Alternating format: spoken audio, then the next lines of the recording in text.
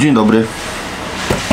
Będzie nietypowo, bo z balkonu pada deszcz, dzieci się nudzą, a jak dzieci się nudzą, to dzieci ostrzą noże. Dlatego będzie prezentacja i recenzja ostrzałki Worksharp Outdoor y, Sharpeners od kolba.pl. Zapraszamy.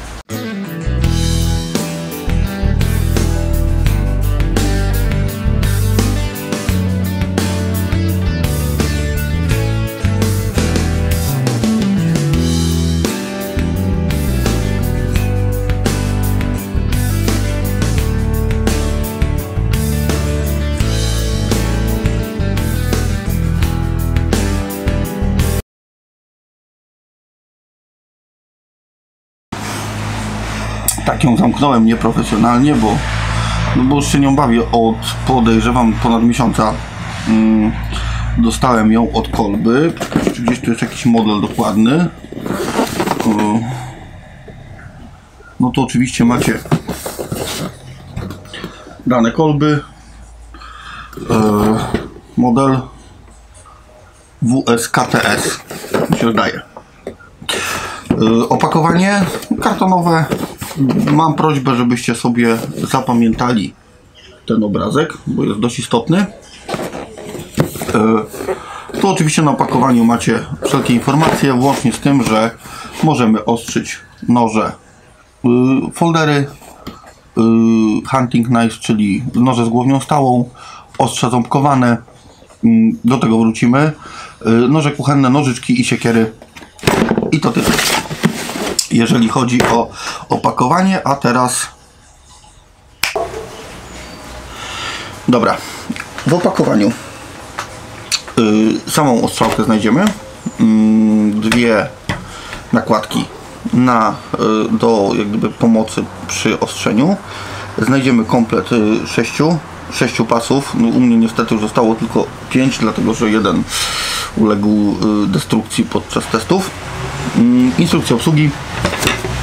I w opakowaniu jest przekładka kartonowa, która też jest takim y, krótkim tipem, jeżeli chodzi o użytkowanie samej ostrzałki. Y, nie będę ukrywał, że y, pojawiła się oczywiście recenzja u chłopaków na EDC, pojawiła się też recenzja u y, Kucyka. Pozdrawiam Kucyka. Mm, I y, zaczniemy sobie od jakości wykonania. Ja mm, naprawdę jej poużywałem sporo, więc to widać niestety, bo zdążyła się troszkę przybrudzić. Y, Sama ostrzałka wykonana jest z plastiku, który wygląda jakby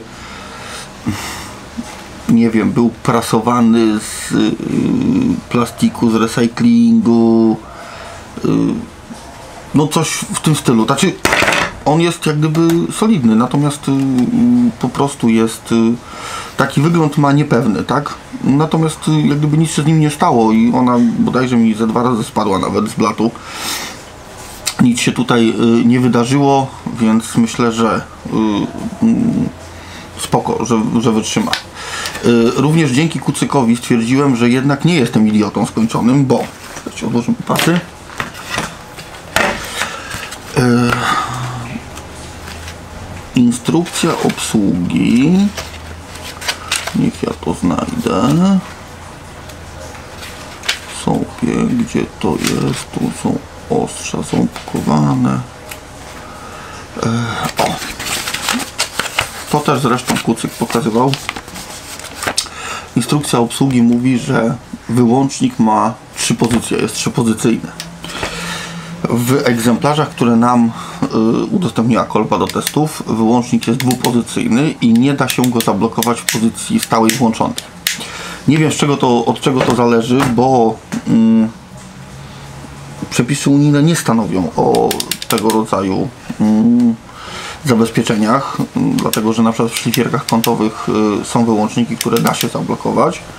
Y, tutaj się nie da i y, jak przyjdziemy do wad, to Wam powiem, gdzie jest wada tego, że się tego wyłącznika nie da zablokować. Y, oczywiście możemy sobie obrócić głowicę do transportu czy do schowania do szafki, y, do zdjęcia, wyczyszczenia. Tu mamy rolkę prowadzącą taśmę razem z wierniczkiem, który y, jednocześnie chłodzi i czyści te wkładki, które tu są. Także można to spokojnie zdemontować. Myślę, że w razie gdyby coś, to można to też również y, wymienić. I oczywiście mamy pozycje robocze. Tych pozycji roboczych mamy raz, dwa, trzy, cztery, pięć sztuk, tak? Czyli każda z pozycji jest pozycją roboczą, w której możemy wykonać różne prace. Yy, nie tylko można ostrzyć noże, to do tego sobie dojdziemy zaraz. Yy, I co? Podłączymy coś, naostrzymy. Weźmiemy sobie... Aha, pokażę Wam jak się zakłada pasy. Mm, ponieważ yy, będę testował na kuchenniakach i potem Wam wytłumaczę dlaczego, jak gdyby nie używam tej ostrzałki do yy, moich noży takich typowo bushcraftowych, tylko używam jej tylko i wyłącznie do noży domowych i nożyczek. Więc udało mi się znaleźć. Nie wiem czy będziecie to widzieli w domu jakieś stare noże, które wskutek używania tych takich ostrzałek ręcznych z tymi kółeczkami ze spieków y, mają taką krawędź mocno, mocno poszarpaną oraz wskutek y, właściwego użytkowania noża y, jeden nóż nie ma czubka, co postaramy się może za pomocą tej mm, mm, ostrzałki poprawić. Zobaczymy, czy się da. No dobra to co? To założymy sobie, a zakładanie pasa, ponieważ y, obie oba noże mają dość mocno zniszczone krawędzie. Y, w komplecie mamy pasy 80, dwie 220 mi została tylko jedna y, i dwa pasy bodajże 6000, czyli takie do wykładania krawędzi. Zakładanie pasa jest stosunkowo proste. Wciskamy głowicę, przekręcamy, żeby się zablokowała.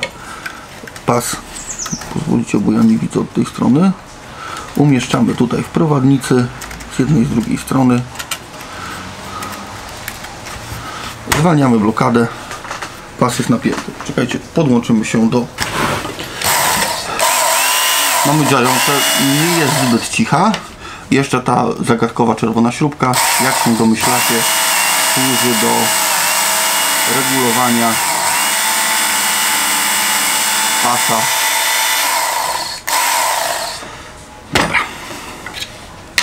to tyle. Y, do, y, jest kilka wad, które ma ta strzałka i do tych wad sobie przejdziemy. Jedną z nich jest to, że y, pas kręci się tylko w jedną stronę.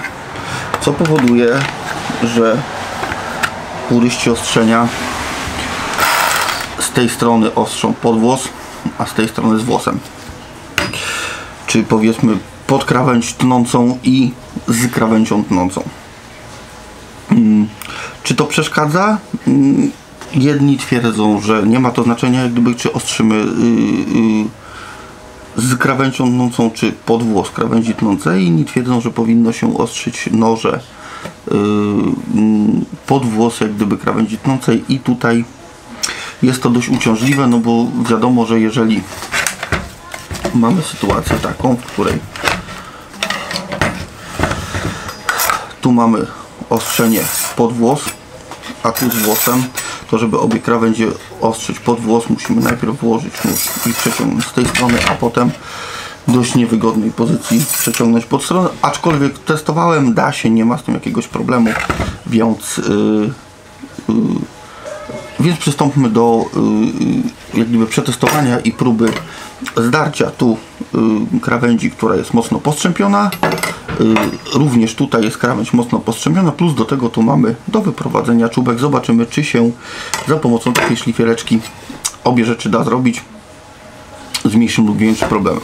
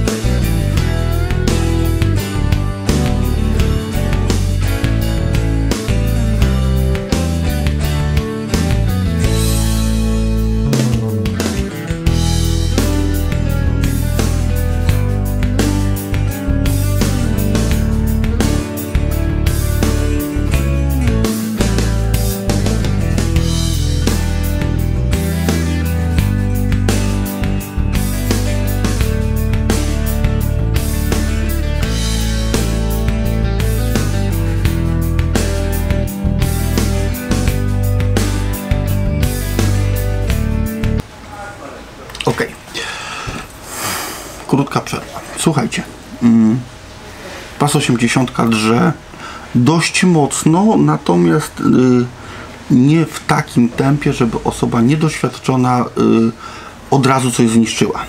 Okay? To znaczy można zebrać dość dużą warstwę y, krawędzi tnącej, ale nie jest to jakoś powiedzmy dramatyczna prędkość, która no, by spowodowała, że można coś bardzo, bardzo zepsuć. Nie wiem, czy będzie widać, ja postaram się zbliżyć, czekajcie, tak żeby ta krawędź się odbijała w miarę światło. Ona oczywiście jest pociągnięta tylko po pasie 80, więc, e, więc e, jeszcze nie jest to krawędź e, zakończona. W tym nożu mm, starałem Wam się pokazać, że oprócz wyciągnięcia dość mocno zniszczonej krawędzi tnącej, można również użyć tej y, szlifierki do naprawienia złamanego czubka, tak? czyli skrócenia odrobiny długości noża i wyrobienia nowego czubka. Ja nie jestem nożerobem, więc wybaczcie mi, nie jest to zrobione profesjonalnie. Sam widzę tutaj już krzywizny, które poprawić, ale jak gdyby da się, tak? Jednocześnie wziąłem jakieś małe nożyczki, które y, znalazłem zresztą na balkonie, więc y, pewnie sobie tu trochę przeleżały. Pokażę Wam jeszcze jak wygląda sprawa ostrzenia nożyczek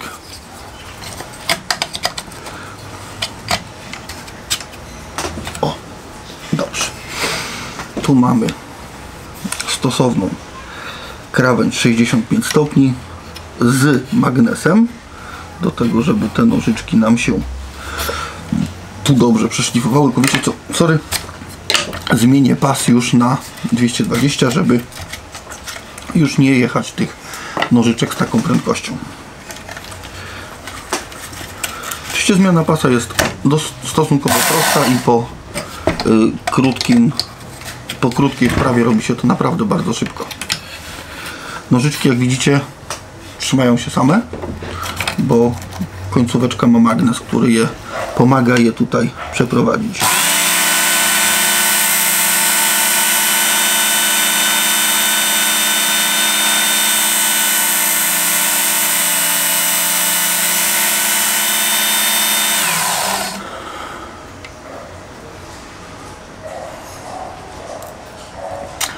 Jedna krawędź.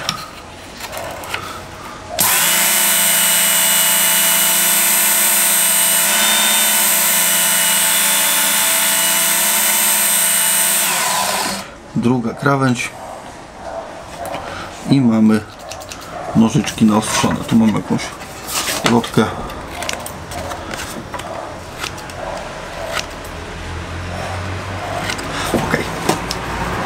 Wracamy do ostrzenia noży kuchennych. Mamy teraz pas y, 220, więc sobie tą krawędź y, wyrównamy, a potem ją sobie przypolerujemy.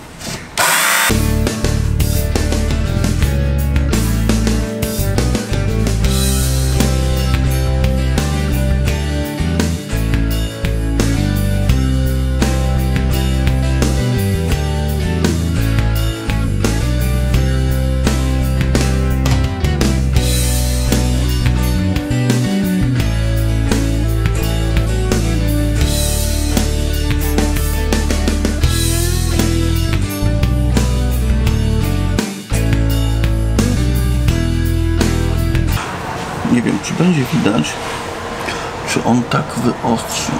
Staram się pokazać, jak wygląda.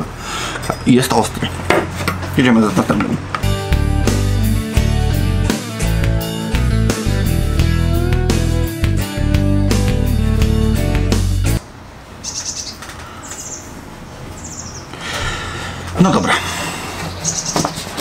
Jakąś kartkę, zwykłą białą z drukarki.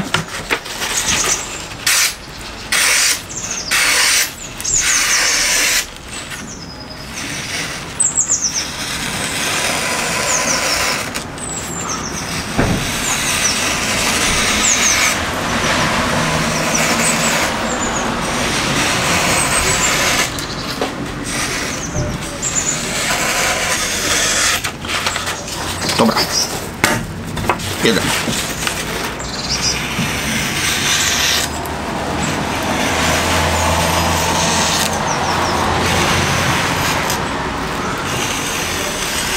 Jeszcze czuć, że nie wszystkie szczerby na krawędzi tnącą idealnie wyprowadziłem, bo to czuję podczas cięcia,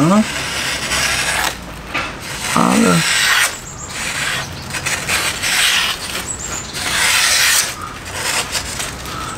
ale generalnie jest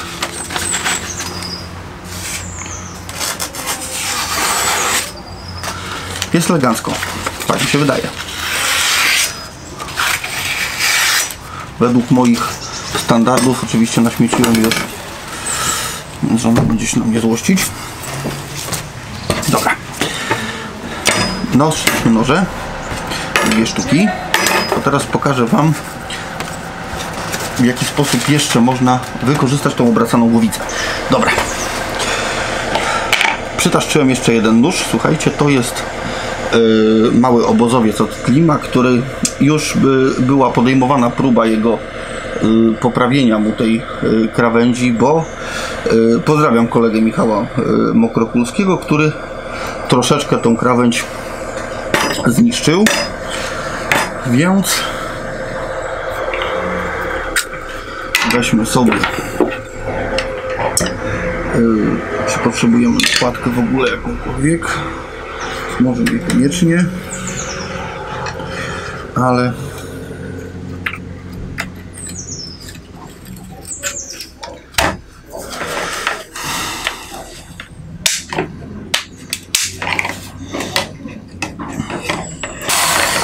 ok, więc przestawiamy głowicę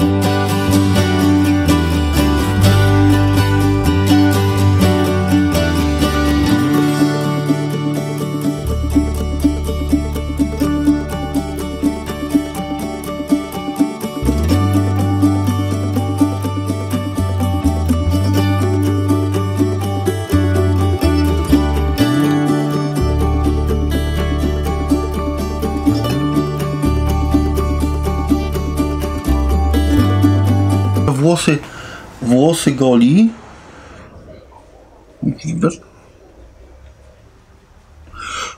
A kartki nie, nie. Ale generalnie słuchajcie, krawędź po mm, użyciu szlifierki wygląda tak. I teraz możemy sobie śmiało przejść do podsumowania. Dlaczego wziąłem klima? No miał zniszczoną krawędź, ale ponieważ tu jest bardzo wysoka krawędź tnąca, to nie wiem czy tu na filmie będzie widać. Szlifierka robi krawędź typu convex, czyli zaokrągloną. Powinno być widać. Specjalnie pobujam nim. Yy, i to jest ok, to znaczy y, ja nie mam nic przeciwko zaokrąglonej krawędzi tnącej. Problem polega na tym, że y, ja nie ostrzę swoich noży, które noszę do lasu, czy które noszę w miarę na co dzień na tej ostrzałce, dlatego że jak potrzebuję podostrzyć go w terenie, to muszę ten konweks zedrzeć na płasko, bo ostrze na płytce, więc po prostu dłużej się schodzi. Mm, dlatego zrezygnowałem jak gdyby z ostrzenia moich noży outdoorowych tą ostrzałką. Zrobiłem tylko klima, żeby pokazać Wam, że jak gdyby ta ostrzałka y, śmiało poradzi sobie z takimi również problemami życia codziennego y, przy tego rodzaju krawędzi.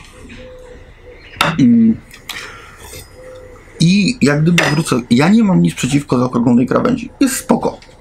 Doskonale sprawdzi się ta ostrzałka u ludzi, którzy y, używają dużo noży y, blisko. Czyli nie wiem, y, w garażu, w warsztacie, w domu, y, rzeźnicy, masaże, stolarze, tudzież bardzo duża ilość różnego rodzaju zawodów, która używa noży na co dzień y, w miejscu, gdzie może śmiało do tej y, szlifierki podejść, raz, dwa, zrobić sobie ostrość. Super sprawa. Y, naprawdę, jeżeli chodzi o strzałkę domową, y, również mam tu pewien zarzut, natomiast nie jest to jakość. Jeżeli chodzi o ostrzałkę w domu, super sprawa, bierzemy wszystkie noże w domu jednego dnia, w przeciągu 20 minut, pół godziny mamy wszystko zrobione na cacy. I nie ma, y, nie ma tutaj problemu, jeżeli chodzi o obsługę, pomimo że jest to szlifierka mechaniczna, y, w zasadzie każdy sobie z tym poradzi. Y, problemem jest cena. Ta szlifierka jest ciutka za droga, znaczy ona jest, o ile się nie mylę, ona jest made in, made in USA, więc tak, w Ashland w USA robiona y, i jeżeli chodzi o cenę w dolarach, super. Natomiast jeżeli chodzi o polską cenę, nie te realia zarobkowe, tak, do y, posiadania takiego sprzętu dla zwykłego Kowalskiego. To już nie jest zabawka dla zwykłego Kowalskiego, to już trzeba na nią wydać, nie pamiętam ile, ale ponad 500 na pewno, y, więc, y, więc nie każdego będzie na to stać. Y, kolejną rzeczą, do której ja nie mam aż takiego przytyku, mm, natomiast zwrócił na to uwagę y, Kucyk, co też jak gdyby y, należy na to zwrócić uwagę, to jest to, że pasy są w niestandardowym rozmiarze i w tym momencie, o ile się nie mylę, poprawcie mnie, jeżeli się mylę, można je kupić tylko w kolbie i kosztują, cena mnie nie przeraża, 5 dych chyba za komplet, więc to dla mnie nie, jak gdyby mnie ta cena nie razi, aczkolwiek rozumiem ludzi, dla których to również może być jakaś tam przeszkoda, jeżeli chodzi o eksploatację, natomiast te pasy nie zużywają się w jakimś takim tempie, żeby trzeba było y, co ostrzenie kupować y, nowy komplet pasów. Należy sobie też o tym y, jasno wspomnieć. Mm. Kolejną rzeczą jest to, że można troszeczkę drożej kupić pasy diamentowe do tej ostrzałki i one na pewno wytrzymają dużo dłużej i będą na pewno dużo, dużo y, lepsze. Czy wytrzymalsze? Nie wiem, ja niechcący 220 zerwałem. Y, mm, jakoś nią zahaczyłem, bo trzeba uważać przy prowadzeniu noża po pasie, bo wystarczy y, troszkę tam krzywo go położyć i można to ten pas po prostu przeciąć. Ja, ja przeciąłem, tak, więc po prostu latał zahaczyłem krawędzią i się przeciął. Y, natomiast reszta, jak już nauczyłem się obsługi, nie sprawiała mi jakichś tam problemów. Powiedzieliśmy sobie o cenie, powiedzieliśmy jakość wykonania, słuchajcie, dla mnie jest w porządku. Jest naprawdę spoko, podoba mi się to, że tą głowicę można zdjąć, tą głowicę można wyczyścić, tą y, głowicę można rozkręcić w razie potrzeby, y, nie ma problemu. Nie wiem jak się będzie sprawował, jak długo i jak się będzie sprawował ten silnik. Dla mnie y, pewną przeszkodą jest ten wyłącznik, który trzeba trzymać podczas y, y, pracy tą szlifierką. Wolałbym y, tą strzałką, wolałbym mieć ten włącznik trzypozycyjny rzeczywiście i móc go sobie włączyć na stałe. Kolejną rzeczą, która mi przeszkadza jest to, że nie można sobie ustawić, w którą stronę obraca się silnik. Z punktu widzenia technologicznego i technicznego nie ma z tym żadnego problemu, w którą stronę obraca się silnik. Nie rozumiem braku możliwości przełączenia tego, bo to by się przydało i to by na pewno w wielu przypadkach pomogło. Ciężko mi jest powiedzieć, jak to jest trwałe, dlatego że ja tego używam miesiąc czasu. To nie jest sprzęt, który w moim, y, jak gdyby, przy moim użytkowaniu będzie użytkowany nader często, bo raczej będzie użytkowany właśnie do noży typowo domowo, domowych, które używam i do takich noży, które nie podostrzam w terenie. Mm, dlatego, że tak jak powiedziałem, z powodu tego, że robi krzywą, znaczy krzywą, zaokrągloną krawędź tnącą, jest mi z tym niewygodnie potem w podostrzaniu w terenie. Mm. Jeżeli chodzi o tu rozmawialiśmy, mamy nakładki, mamy 20, 25 i 65 stopni i spoko, i dobrze się ich używa, yy, nie ma problemu, również nie zauważam jakiegoś rzeczywistego dramatu podczas ostrzenia z tym, że jedną krawędź się yy, szlifuje pod włos, drugą z włosem, bo to jak gdyby z punktu widzenia ostrości noża w finalnym jego wykonaniu nie ma jakiegoś, yy, jakiejś wielkiej przeszkody.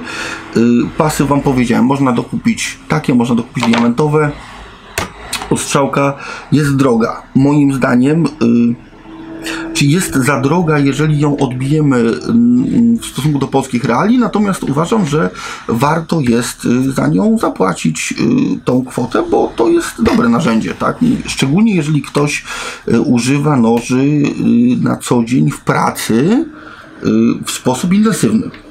W ogóle nie ma dyskusji. Y, super sprawa, można tego używać do podastrzania siekier. Do podastrzania siekier się super sprawdza, bo w siekierach y, z reguły ta krawędź tnąca jest typu konweks, więc, y, więc na pewno się super sprawdzi. Muszę przetestować ją na swoim hultaju. Nie, nie, nie lubię. Ale jak będę testował, to na pewno nagram film jak ten, jak się ostrzy za jej pomocą hultaja, bo podejrzewam, że wykonujemy dokładnie tą samą robotę, co zrobiłem przydliwie. Y, czy czegoś jeszcze mi brakuje w niej? Nie.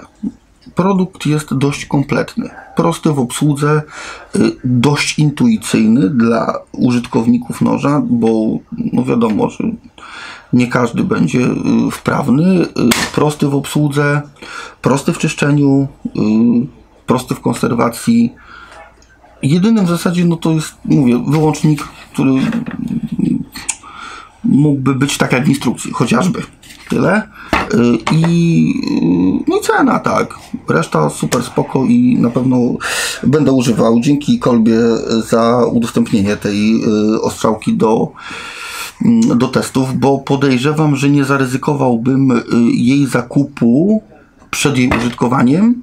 Natomiast po jej użytkowaniu już bym y, jak gdyby zaryzykował y, wydanie tych pieniędzy na to, żeby mieć taki sprzęt w domu, choćby do y, cyklicznego ostrzenia wszystkich noży hurtem i złamanych czubków i innych cudów wianków, co widać na tym nożu nieprofesjonalnie naprawionym. To tyle. Dziękuję Wam za oglądanie. Wpadajcie na grupę, yy, zostawiajcie komentarze, co myślicie o tego rodzaju sprzęcie i czy Waszym zdaniem jest yy, przydatny i użyteczny. Yy, wpadajcie na grupę, wpadajcie na Instagram, wpadajcie na stronę, yy, wpadajcie wszędzie, macie tutaj tą yy, całą tabelkę z naszymi linkami. Pod stroną będziecie mieli linka do tej ostrzałki, do pasów, żeby zapoznać się z cenami na stronie kolba.pl.